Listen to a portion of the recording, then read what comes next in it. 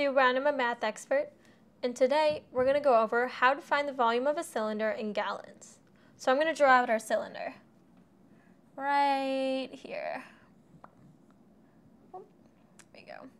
Say we have a cylinder with some height, h, and some radius right here, r.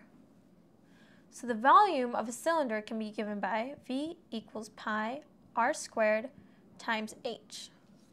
So we would just plug in the values that were given, solve for the volume, and then just to make sure it's in gallons, so say you just have to multiply it by a conversion factor. So if we have, for instance, if we had cubic inches, so we have it in cubic inches, and we want to convert it into gallons, we would just multiply this by however many gallons exist per one cubic inch. And you can find this value in the back of most standard math books or just um, on a scientific website, different things like this. This is just a standard value that's known. Multiply these cross out and boom, we have our volume in gallons.